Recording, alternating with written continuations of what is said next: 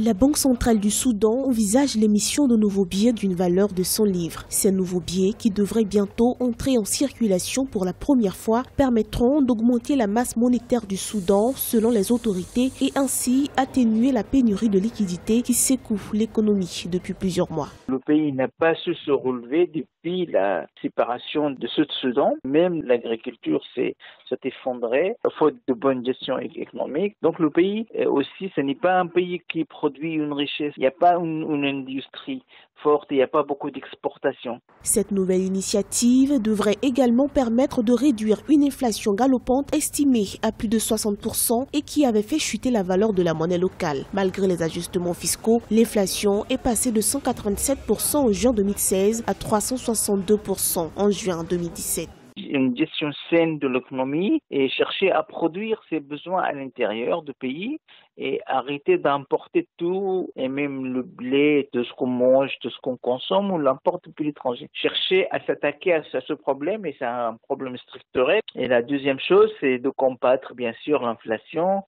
sur la période allant de décembre 2016 à décembre 2017, les autorités ont poursuivi la mise en œuvre des ajustements partiels, ce qui a permis un ralentissement de l'inflation. Toutefois, selon les estimations du Fonds monétaire international, pour l'année 2018, il est prévu une croissance de 3,7%.